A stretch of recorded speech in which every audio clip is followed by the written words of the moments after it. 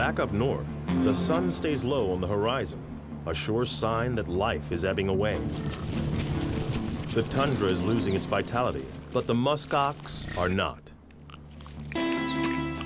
It's time to display their strength and impress the females. At over 900 pounds, nature's heavyweights are a force to be reckoned with.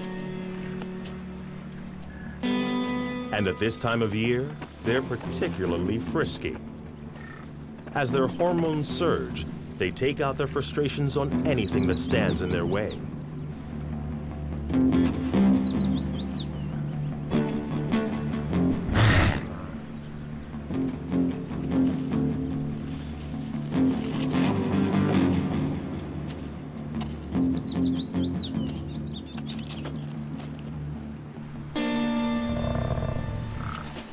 What starts as a friendly nudge soon gets a muskox going.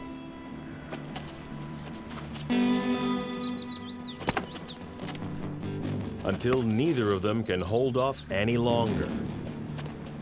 And muskox must do what muskox have got to do. Butt head.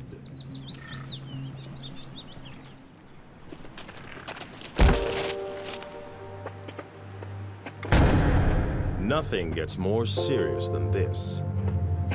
At a speed of 30 miles an hour, they power towards each other and collide with the force of a head-on car smash. The females can only look on, while the males sort out their differences, just as they have done for centuries.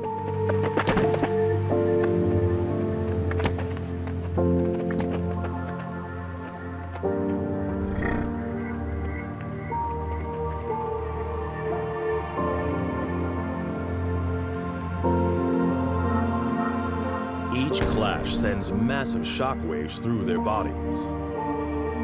Injury and death are a very real possibility.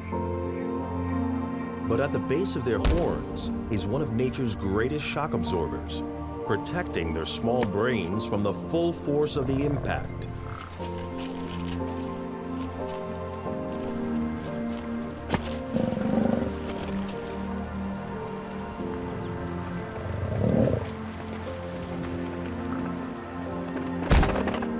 Each round can last up to 20 brain-numbing smashes until, eventually, one backs down and is banished from the competition.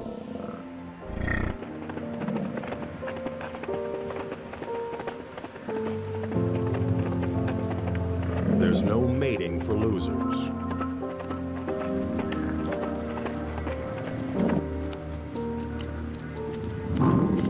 But even that head-crunching display doesn't impress these females. Ah well, another day, another headache.